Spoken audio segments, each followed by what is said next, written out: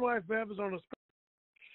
Well, good morning and welcome to Rich Thoughts for Breakfast. I'm Harold Herring, and my fine wife Bev is on a special assignment. Plus, the enemy must not like today's teaching because we had real equipment problems. So, anyhow, you're just going to hear me today.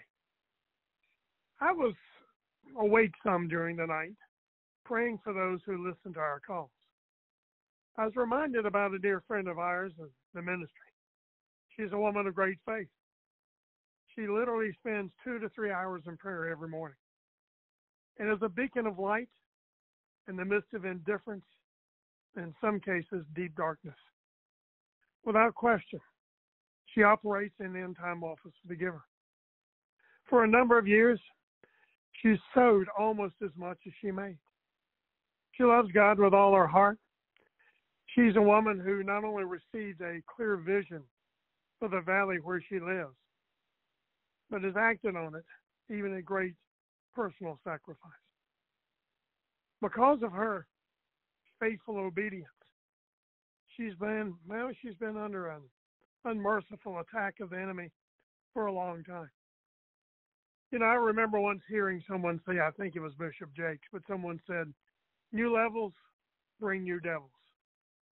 I think Satan has assigned a legion of demons to attack her finances and her commitment.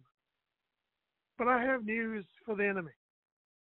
He doesn't stand a chance, not against this woman of faith, nor against any anybody hearing my voice today. This morning, as I was praying for her and each of you, I felt led to pray Psalm 35:20. Psalm 35:20 in the Classic Amplified. I prayed it over our lives. The verse says, Oh, keep me, Lord, and deliver me. Let me not be ashamed or disappointed, for my trust and my refuge are in you. Psalm 35:20, this time in the Message Bible says, Keep watch over me, keep me out of trouble, and don't let me down when I run to you truthfully, we pray for a lot of folks who could and, well, are disappointed. The letters and emails that we read are filled with hurt, even in the midst of expectation. The scripture in Proverbs 13 12, 13 12 says, Hope deferred makes the heart sick. It's an absolute fact that if you're doing business, the business of the Lord effectively, the enemy will attack you. Matthew 5:10, 5:10, Classic Amplified Bible. Blessed and happy and enviable, fortunate and spiritually prosperous in the state in which the born again child of God enjoys and finds satisfaction in God's favor and salvation, regardless of his outward conditions or those who are persecuted for righteousness' sake. For being and doing right for theirs is the kingdom of heaven.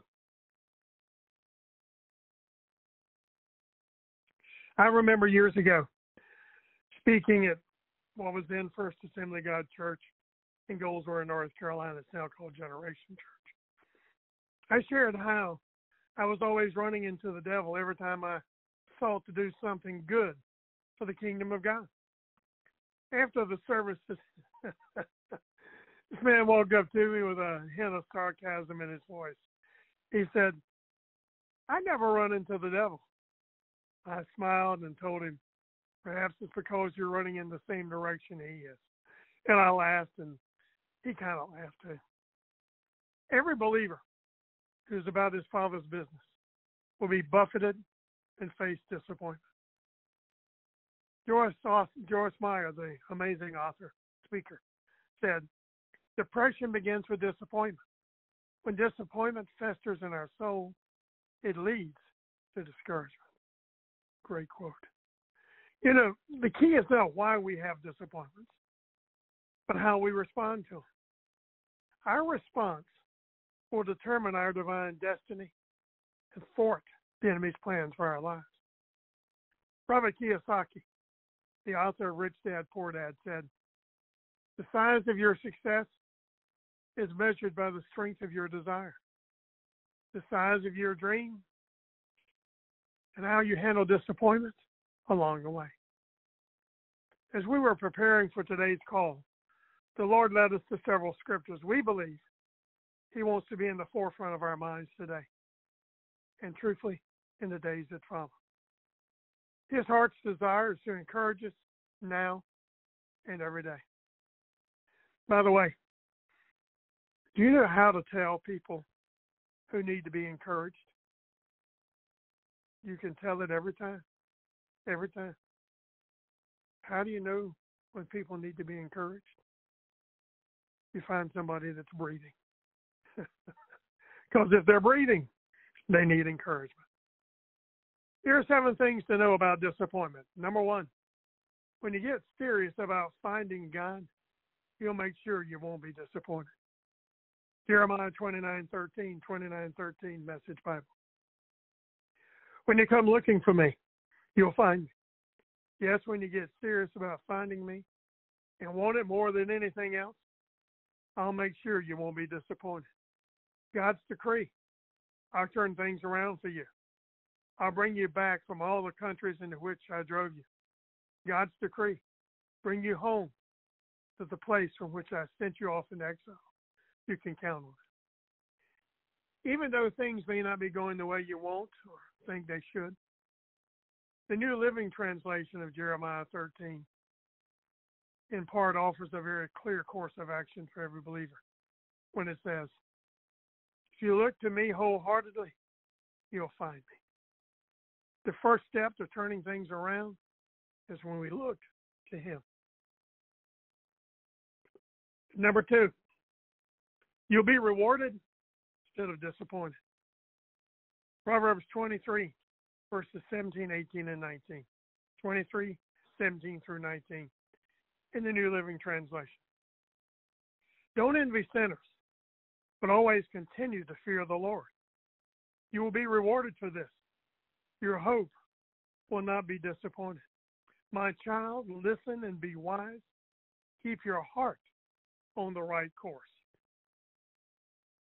You will be rewarded. Scripture doesn't say you might be, you could be, you should be, you ought to be. Scripture says your faithfulness, your fear of the Lord, your trust in Him will be rewarded. Can somebody say hallelujah?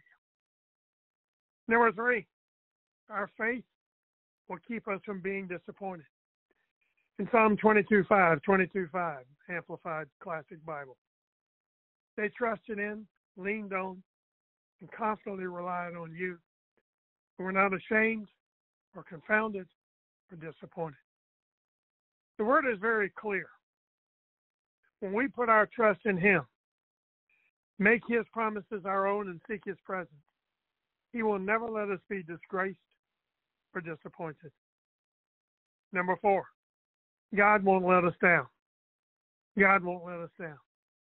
Psalm 31 1, 31 1, New Living Translation. Oh Lord, I have come to you for protection. Don't let me be disgraced. Save me, for you do what is right. The Message Bible translation in part says, Don't let me down. Dr. Charles Stanley, great pastor from Atlanta, he said, Our Heavenly Father understands our disappointment, suffering, pain, fear, and doubt. He is always there to encourage our hearts and help us understand that He's sufficient for all of our needs.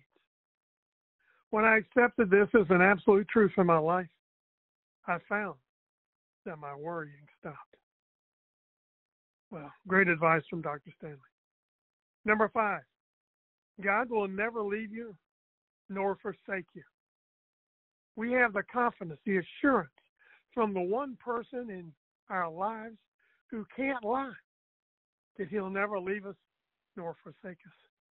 Hebrews 13:5, 13:5 in part says, let your conversation be without covetousness, and be content with such things as you have. For he has said, I will never leave thee nor forsake thee. That's another hallelujah. Number six, our expectations will not be disappointed. Romans 9:33. Romans 9:33. Classic Amplified Bible. And he who believes in him who adheres to, trusts in, relies on him shall not be put to shame or disappointed in his expectations.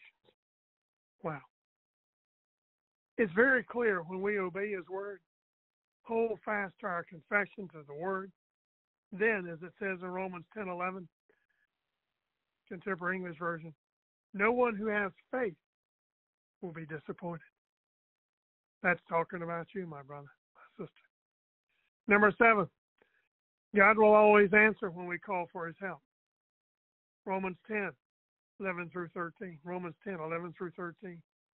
In the Message Bible, removes all doubt when it says, Scripture reassures us no one who trusts God like this, heart and soul, will ever regret it. It's exactly the same no matter what a person's religious background may be. The same God for all of us, acting the same incredibly generous way to everyone who calls out for help. Everyone who calls, help, God gets help. Hallelujah. Now, at this very moment on this Saturday morning, you may be going through the fire, but take heart. God does not want you disappointed or living in regret. Your faith will not be disappointed. You'll be rewarded for your obedience to His word. God doesn't want us disappointed, and truthfully, neither do we. Do your part. Hear Him, seek Him, take refuge in Him, and He will faithfully perform the things that He's promised you. Hallelujah. Our Heavenly Father will never let you down. He'll never let you down when you turn to Him for help. Romans 4, 5, and 6. Romans 5, verses 4, 5, and 6. 5, verses 4 through 6. New Living Translation. And endurance develops strength of character. And character strengthens our confident hope of salvation. And this hope will not lead to disappointment. For we know how dearly God loves us because he was he has given us the Holy Spirit to fill our hearts with his love. When we were utterly helpless, Christ came at just the right time and died for us sinners. Hallelujah. See, God's love keeps us from being disappointed. And one more thing. Don't let the enemy make you feel that you're all alone in your battles. See, we pray for every person on these calls. Some of you, it shows only shows the phone number, not a name. So we pray for that whoever has that phone number. We might oh, get this. We may not know who you are, but God does. And He's the one who really counts. That gives you something to think about on this Saturday or whenever you hear the replay of this. Hallelujah. Hallelujah. Be on the lookout for a letter we mailed you last week. Outside it says four words that'll change 2019, the remainder of it for you. We're uh, one more day after today, and when the last six months of this year. We're praying and believing it's going to be the greatest six months of your life. No doubt about it. No doubt about it. Hallelujah.